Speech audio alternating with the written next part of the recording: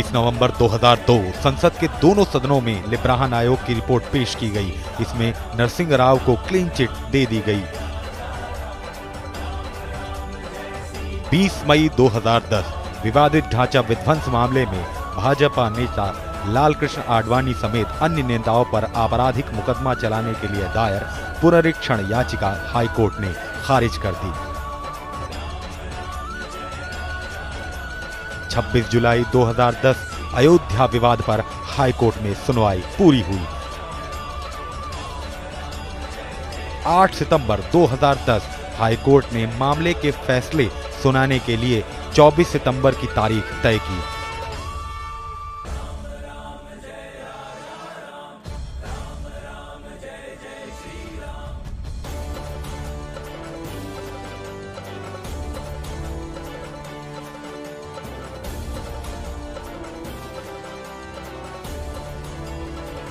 चौबीस सितंबर 2010 हाईकोर्ट की लखनऊ पीठ में तीन जजों की बेंच ने फैसला सुनाते हुए विवाद स्थल का एक तिहाई हिस्सा मुसलमानों को मस्जिद बनाने के लिए दिया और हिंदुओं को विवाद स्थल का शेष हिस्सा समेत मंदिर बनाने के लिए बाकी ज़मीन देने का फैसला सुनाया।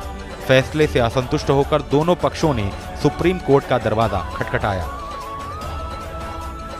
9 मई 2011 सुप्रीम कोर्ट ने इलाहाबाद हाई कोर्ट द्वारा विवादित स्थल को तीन हिस्से में बांटने के फैसले पर रोक लगा दी। साथ ही सुप्रीम कोर्ट में सुनवाई शुरू हुई।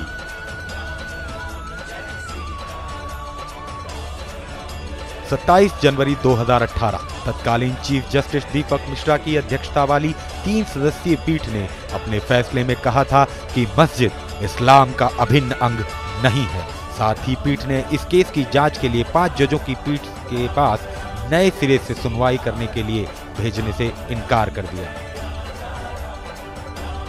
जेसी बोस विश्वविद्यालय के संचार एवं मीडिया तकनीकी विभाग द्वारा चलाई जा रही अयोध्या में फिर लौटे राम सीरीज़ में आज बस इतना ही। आगे की जानकारी अगले एपिसोड में दी जाएगी।